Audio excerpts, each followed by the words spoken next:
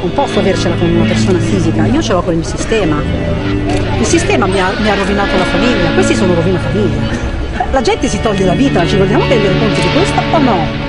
Non stiamo parlando di una persona che cade e si rompe una gamba.